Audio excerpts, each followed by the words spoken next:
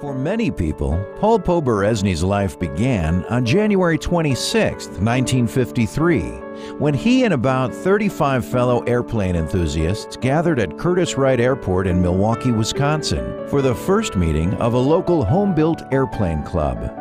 That club would become the Experimental Aircraft Association, an organization that would grow to include more than 175,000 members over the next 60 years, and whose annual convention would become the largest event of its kind in the world. Even by that time, however, Paul seemed destined to have a life tied to aviation. Born in 1921, his family lived in a tar paper shack that, as fate would have it, lay under a busy airmail route. He'd always look up when the early airmail pilots would pass overhead, and from age five, as he'd later say, every day of my life I have spoken the word airplane. By the time he was eight, he'd converted part of the family chicken coop into his first airplane factory, building crude models out of scrap lumber. When Paul was 15, his history teacher, Homer Tangney, presented him with an extraordinary gift a damaged Waco primary glider. Tangney didn't ask for any money, but simply gave Paul the glider on the condition that he restore it and fly it. The glider was finished in the spring of 1937, and 16 year old Paul became a self trained pilot. At 19, Paul borrowed $125 from his father and bought half of an American Eagle biplane with a friend. That Eagle was my college education, Paul liked to say. It gave me opportunities to meet people through forced landings. It provided extensive experience in maintenance, and it helped develop my piloting skills. As was the case with many young American men after the attack on Pearl Harbor in December of 1941, Paul joined the Army. There, he first earned his wings as a glider pilot, then became a civilian flight instructor at the U.S. Army Primary Flying School in Arkansas. He soon earned his commission and spent the remainder of the war as a ferry pilot. Throughout his service, his rank and roles varied, but he never stopped flying always choosing flying over career advancement. An example was the last line in Paul's World War II pilot logbook that reads, So ends my Army flying. Damn it. Back home, Paul settled into post war life with his wife Audrey, a high school sweetheart he'd married in 1944. In October of 1946, Audrey gave birth to their first child, Thomas Paul Poberezny. Eight years later, they were blessed with their second child, a daughter named Bonnie Lou Poberezny. In 1952, Paul again served his country, this time flying C 47s during the Korean War for a year before returning home to a full time job with the Wisconsin Air National Guard. It was then, at Audrey's suggestion, that he organize a fledgling group of local Milwaukee home builders, leading to that first meeting in January of 1953. When asked about starting EAA, Paul said, None of us knew at the time what it would become. To us, it was just another flying club.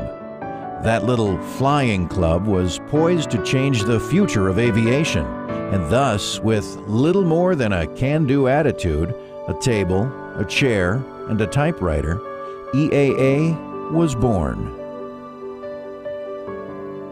Paul and Audrey began to publish a newsletter called The Experimenter, which later became EAA's flagship publication, Sport Aviation.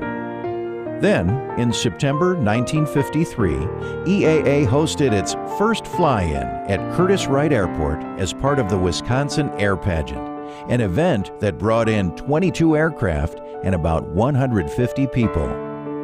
EAA's national exposure came in 1954 when Mechanics Illustrated ran a feature article about Paul and his baby ace.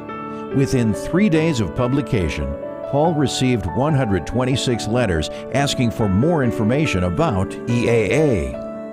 By the time they hosted their second fly in, EAA had grown to more than 200 members and had approved the first of what would eventually become 1,000 local EAA chapters. Despite the requirements of his full time job with the National Guard, Paul would personally respond to everyone who took an interest in the group.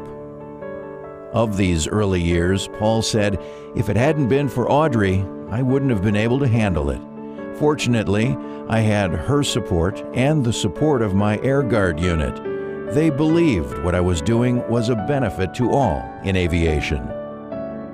EAA's steady growth continued, with the organization's office moving out of the Poberezny home in the mid 60s and into a new office and museum complex in the Milwaukee area.